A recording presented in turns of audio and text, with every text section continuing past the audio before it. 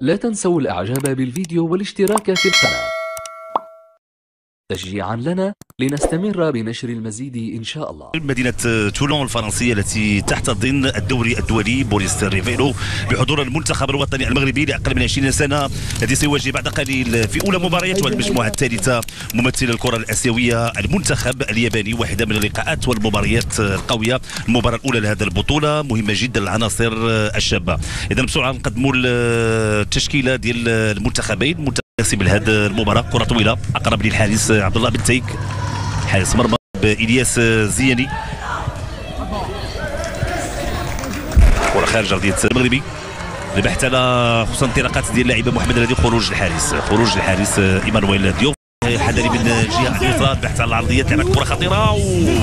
وحسن الحظ التدخل وإبعاد الكرة. كانت محاولة يمكن قبل شكلات. كاين توتشيو رقم 10 هناك تغطية. مراوغه مبون هناك يعني سياسه على مستوى هذه فرصه فرصة المنتخب الوطني المغربي ولكن تدخل الدفاع. تدخل الدفاع الذي هدف صقر مواهبهم وتحضيرهم لتمثيل المنتخب الأول إن شاء الله. مستقبلا رفعت كرة محاولة خطيرة بيدات المنتخب الياباني هناك المطالبه هناك لمسة يد وبالفعل الحكمه تتدخل. آه، كان هناك لمسة آه، يد على اللاعب آه، كاتارو يوشنو تابعوا من جهة. لسانه انه يخرج بأفضل المكاسب محاولة خطيرة. وتدخل ممتاز. تدخل ممتاز من طرف الحارس آه، عبد الله اليسرى. عند اللاعب وسام وسام الأنطاكي يرفع الكرة داخل منطقة الجزاء ولكن آه، الكرة بعيدة. وطنية. تبعد المحاولة من الجهة اليمنى. استرجع الكرة بشكل ممتاز. وشرط فائده آه، المنتخب الوطني المغربي. لعبات الكرة ترفعت داخل منطقه الجزاء مباشرة في يد الحارس آه، كان هناك خطأ كان هناك خطأ. آه، تقريبا كان تدخل أمام آه، الحارس.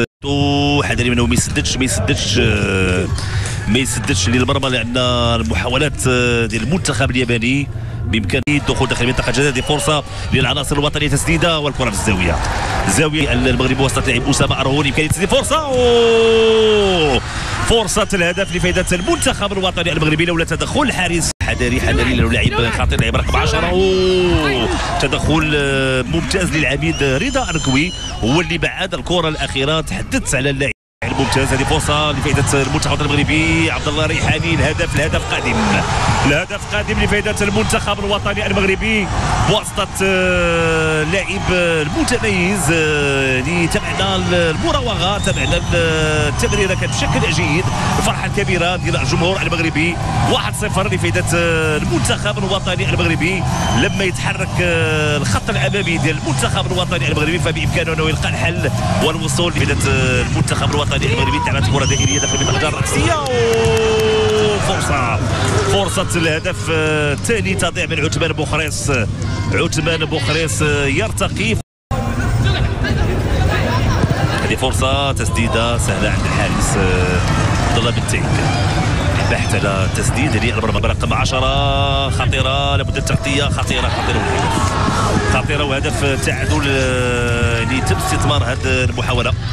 وهذا هو اللي قلت آه، لاعب رقم 10 لاعب عنده إمكانيات آه، مهمة. التمريرة آه، كانت في اتجاه اللاعب و تسديدة. مرات جانبا بعيده شيئا ما مرمى الحارس عبد الله بن تريك كانت محاولة لفائدة المنتخب المجموعة محاولة خاطئه لفائدة المنتخب الياباني. الهدف الثاني. الهدف الثاني لفائدة المنتخب الياباني بواسطة اللاعب إسعد سوفو إيشي اللي دخل خلال الجولة الثانية.